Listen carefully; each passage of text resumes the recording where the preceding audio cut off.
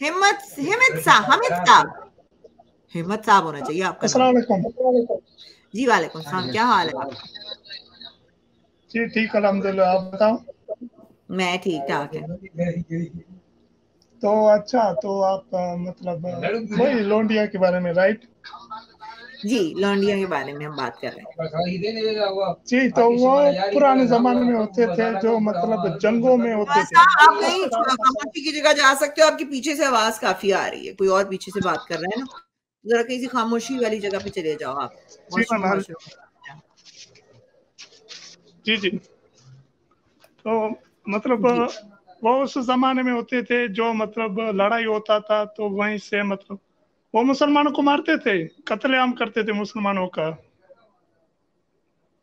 तो वो तो जंग तो में तो ये होता है ना एक का कत्ल होता है। लेकिन जंग में होता है ना ये चीज़ मगर मैं आपसे पूछ रही हूँ कि अभी अभी भी हो रहा है अभी जो यजीदियों पे ये जो कत्ले गारत हो रही थी तो उनकी औरतों को उठाकर जो है लेके जाते हैं। अभी मैंने आपको दिखाई ये नादिया जो है बंदी ये अभी यहाँ से निकल के आई है। इसको सेक्स सेवी में डाला था। ये अभी भी हो रहा है। इस्लाम के नाम पे हो रहा है। आपको नहीं दिखता? जी अभी आपने वो भी देखा कि कहा सर्च करूँ रागनी जी, जी में जी बोलो। जी आपने वो आई एस आई एस के एक लड़की को भी दिखाया अभी राइट जी। तो आई एस आई एस मुसलमान ही नहीं है। पहले में हमने डिस्कस किया था कि वो एक मुसलमान नहीं है? सिर्फ़ आप कैसे कह सकते हो कि वो मुसलमान नहीं है? क्योंकि वो प्रोक्सी है इंडियंस के इसराइली अमेरिकन अमेरिकन से के। वो मुसलमान तो है ही नहीं हम उसको मुसलमान नहीं मानते हैं।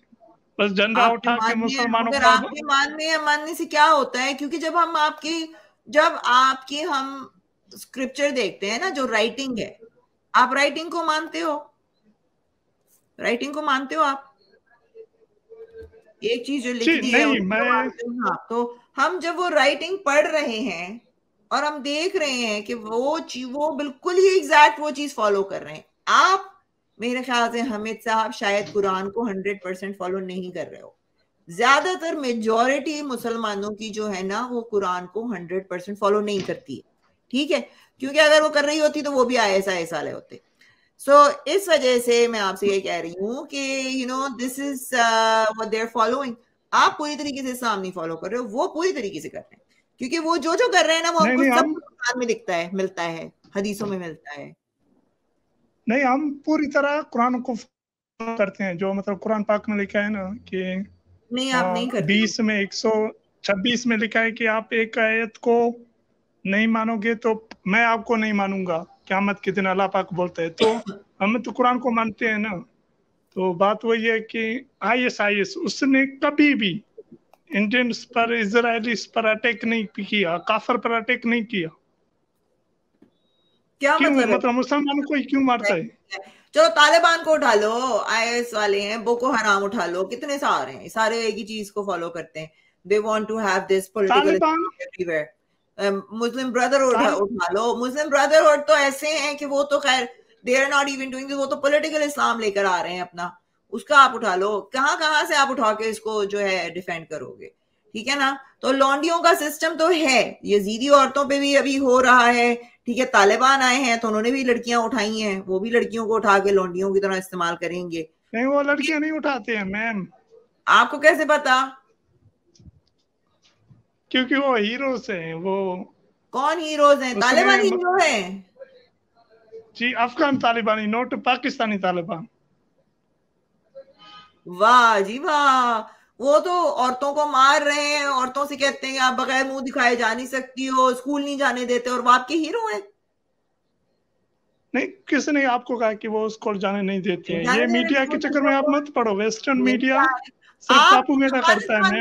आप मुझे बताओ आप अफ़गानिस्तान में बैठे हो? नहीं मैं पाकिस्तान में। हाँ।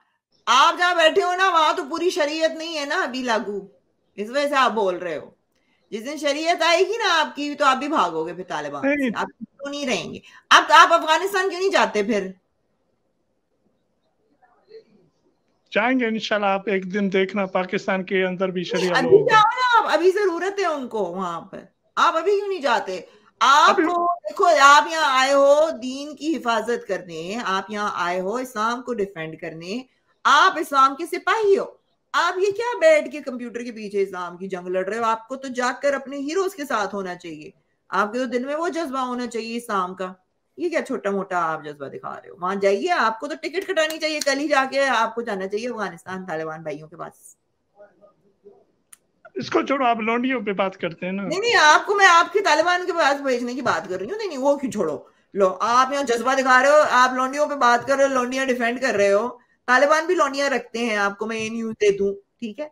जब वो आए थे ना तो अपने घरों में उन्होंने इकट्ठी की थी। हमारे सोल्जर्स को औरतें चाहिए होंगी। हमारे जो यहाँ पे सोल्जर्स हैं ना जो वॉर में लड़ेंगे वो क्या करेंगे? हिलाएँगे या एक दूसरे को करेंगे? राइट उनको औरत तो चाहिए ना तो औरतें कहाँ से आएँगी? दूसरों के घरों से उठाते हैं वो औरतें। हमीद साहब जी वहाँ से उठाते हैं।